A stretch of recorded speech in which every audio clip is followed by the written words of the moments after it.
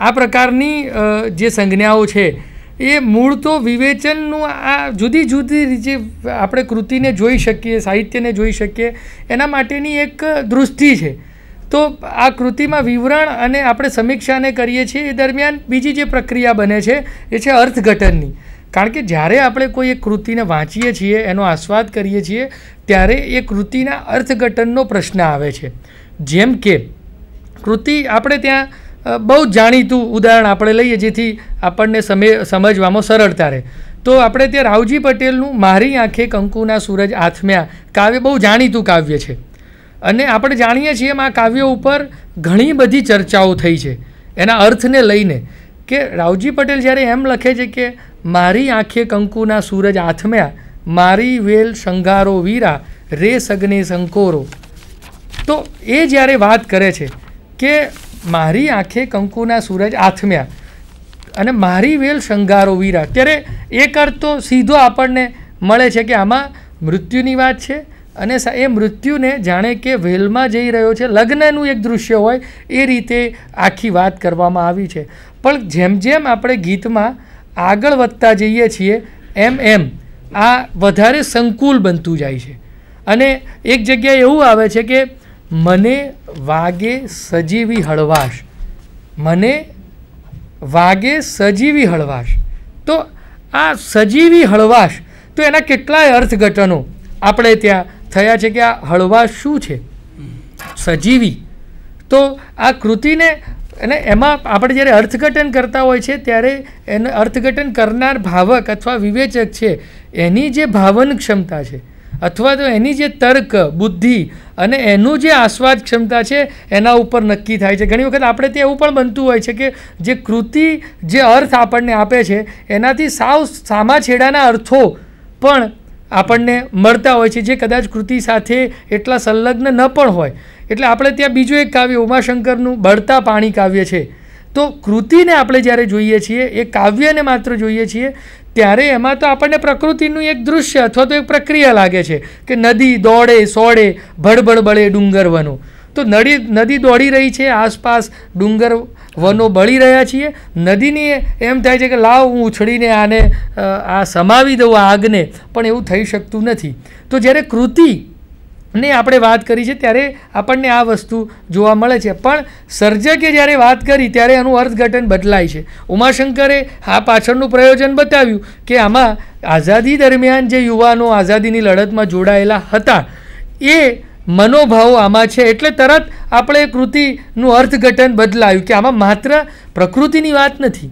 પણ સાથે સાથે આ એક આખી વાત હતી આપણા આઝાદી દરમિયાન જે યુવાનો આઝાદીની લડતમાં ગયા, પોતાના પરિવારોને છોડીને, તો એ આપણને અર્થઘટન મળ્યું. તો આ રીતે કૃતિના એક ચોક્કસ અર્થઘટનોમાંથી આપણે પસાર થતા હોઈએ છીએ. અને વિવેચનનું મુખ્ય કાર્ય એ છે કે કશાક મૂલ્યાંકન પર આવવું. કૃતિને ઉદ્ઘાટિત તો કરવી આ રીતે એની સમીક્ષા, અવલોકન, અર્થઘટન, વિવરણ, પણ એ પહોંચીને કૃતિ વિશે કંઈક ચોક્કસ મૂલ્યાંકન આપવું. તો આપણે ત્યાં મૂલ્યાંકનના ખ્યાલો બે રીતે છે. કે એક તો આપણે કલાના જે કલાકૃતિ તરીકે કલાના જે નિયમો છે, એને આધાર રાખીને આપણે કૃતિનું મૂલ્યાંકન કરીએ. અને બીજું આપણું જીવન સમગ્ર છે. એ જીવન દર્શનને કેન્દ્રમાં રાખીને આપણે કૃતિને તપાસીએ, કૃતિનું મૂલ્યાંકન કરીએ.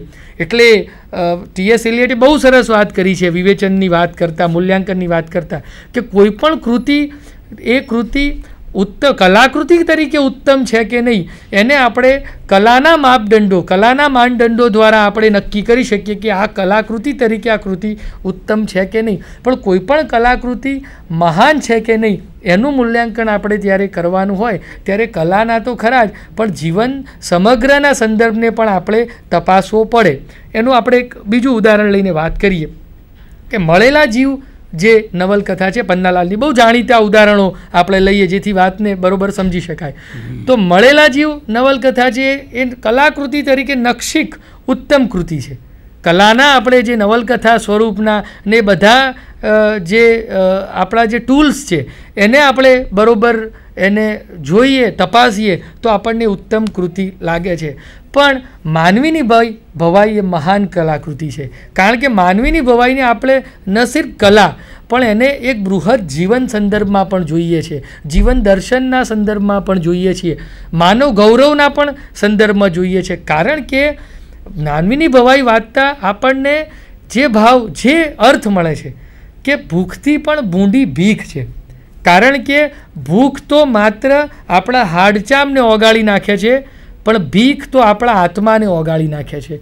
તો આ એક જીવન દર્શન, આ એક માનવ ગૌરવ, એ આ કૃતિમાં પ્રગટ થયું. એટલે આપણે માનવીની ભવાઈ જેવી કૃતિની જ્યારે મૂલ્યાંકન કરીએ, ત્યારે માત્ર કલાના સંદર્ભો નહીં, પણ આ પ્રકારના જીવન સંદર્ભો કે આ પ્રકારના જીવનમાં પણ કેવી રીતે ટકાવી રાખે છે, જીવનમાં ટકી રહે છે આ પાત્રો તો એમના જે ભાવો છે, એટલે મહાન કલાકૃતિઓને આપણે આ રીતે મૂલ્યાંકન કરતા હોઈએ છીએ. એટલે જ્યારે આપણે કોઈક મૂલ્યાંકન ઉપર આવીએ છીએ, ત્યારે જ એ વિવેચન બને છે. નહીતર તો આસ્વાદની પણ એક પ્રક્રિયા હોય છે. આપણે સુરેશ જોશીના જે ગુજરાતી કવિતાનો આસ્વાદ પુસ્તક આપણે જોયું જ હોય અથવા તો જોવું જોઈએ તો એમાં જે રીતે કૃતિના આસ્વાદો આપ્યા છે કે ભાવકને કવિતા સુધી લઈ જાય છે. એના રસસ્થાનો સુધી લઈ જાય છે અને આગળ કહ્યું તેમ આ બધું કેમ બન્યું એને ખોલી આપે છે.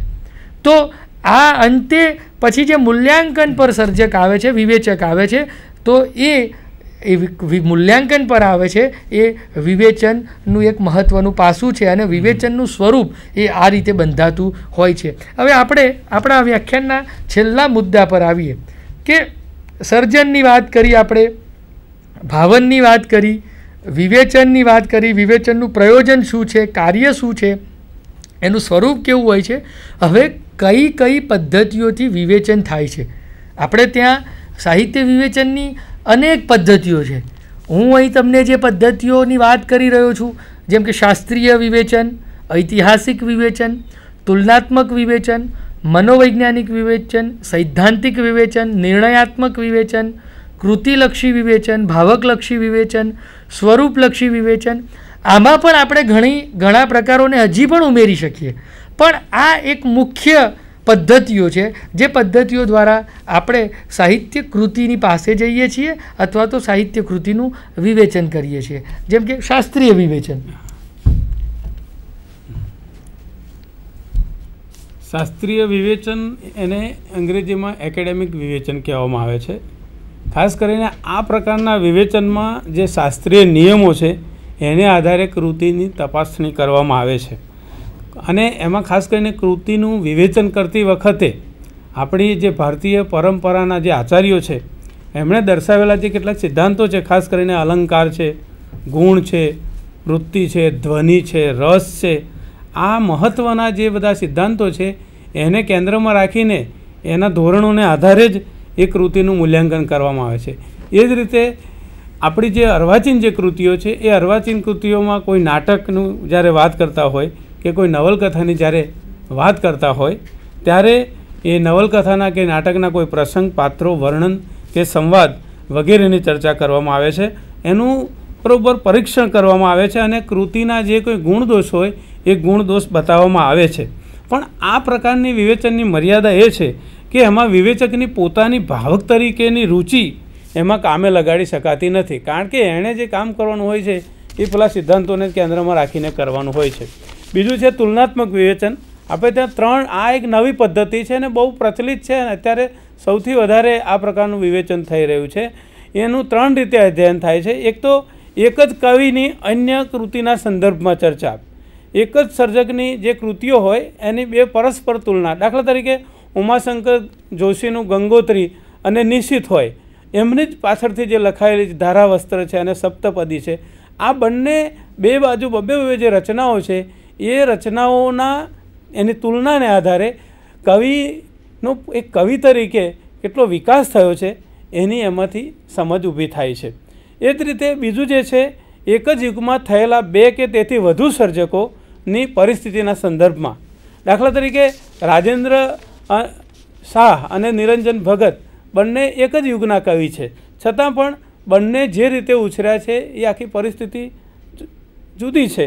એટલે એમાં બંનેમય પરિસ્થિતિમાં ભેદને કારણે એમના સર્જનમાં કયો ભેદ છે એ એમાંથી પ્રગટ થાય છે. એ જ રીતે ત્રીજી જે પદ્ધતિ છે એમાં ખાસ કરીને બે સ્વરૂપો. દાખલા તરીકે બકર ઠાકોરના સોનેટ અને સુંદરમ ઉમાશંકરના સોનેટ.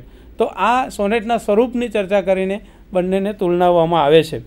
એ જ રીતે પન્નાલાલ પટેલની માનવીની ભવાઈ કે પછી રેણુની મેલા અંચલ, એને પણ આ રીતે તુલનાવવામાં આવે છે. આપણે જોઈએ કે તુલનાત્મક સાહિત્યમાં એક ખ્યાલ એવો છે કે બે ભાષાઓની કૃતિ હોવી જરૂરી છે કે ભાઈ એક ગુજરાતી હોય, બીજી મરાઠી કોઈ પણ.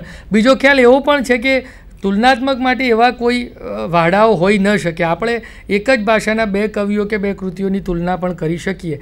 એ જ રીતે મનોવૈજ્ઞાન ઐતિહાસિક વિવેચનમાં આપણે કોઈ પણ કૃતિને એના એક, એ ધારો કે કોઈ નવલકથા છે, તો એ નવલકથાના ઇતિહાસમાં એનું શું સ્થાન છે? એ બતાવી આપણે વિવેચન કરીએ કે સર્જકનું શું સ્થાન છે? એ બતાવતું આપણે જે વિવેચન કરીએ ઐતિહાસિક વિવેચન છે. એ જ રીતે કૃતિમાં જે મનો મનોવલણો પ્રગટ્યા છે, એ મનો, મનોવલણો કેવી રીતે આખી કૃતિના કેન્દ્રમાં છે, એની તપાસ આપણે જે રીતે કરીએ એ મનોવૈજ્ઞાનિક વિવેચન છે, જેમાં આ મનોવિજ્ઞાનને કેન્દ્રમાં રાખવામાં આવે છે. એ જ રીતે ભાવકને જેના કેન્દ્રમાં ભાવક હોય છે, જે અત્યારની અનુઆધુનિક અથવા તો આધુનિક કહી શકાય એવી વિવેચન પદ્ધતિ છે. તો એ પણ વિવેચનની એક પદ્ધતિ છે. કૃતિને જ માત્ર કેન્દ્રમાં રાખીને આપણે વાત કરીએ તો એ કૃતિલક્ષી વિવેચન છે. એ જ રીતે કોઈ સિદ્ધાંતને કેન્દ્રમાં રાખીને આપણે જ્યારે વાત કરતા હોઈએ તો એ સૈદ્ધાંતિક વિવેચન છે. અને એ જ રીતે કોઈ સ્વરૂપ ને આપણે જ્યારે કેન્દ્રમાં રાખીએ છીએ અને એ સ્વરૂપને કેન્દ્રમાં રાખી અને આપણે જ્યારે કોઈ વિવેચન કરીએ છીએ, ત્યારે એ સ્વરૂપલક્ષી વિવેચન છે. તો આ એક બૃહદ વિષય છે અને ઘણો સંકુલ વિષય છે વિવેચન. આપણે આટલા ટૂંકા સમયમાં માત્ર એનો આછો પાતળો આપણને એક ખ્યાલ આવે એ માટેનો આપણે એક પ્રયત્ન જોયો કે વિવેચન શું છે, સર્જન શું છે, ભાવન શું છે, વિવેચન શું છે, એનું સ્વરૂપ શું છે અને કયા પ્રકારે એ થતું હોય છે. ફરી ક્યારેક આપણને જો આ પ્રકારનો સમય મળશે તો આપણે વધારે ઊંડા જઈને આ બધી જ ખરેખર તો આ પદ્ધતિઓ એક એક પદ્ધતિઓ લઈને એક એક કલાક વાત કરી શકાય એ પ્રકારનો આપણો વિષય છે. પણ આપણે અત્યારે અહીં અટકીએ છીએ. આભાર. Thank you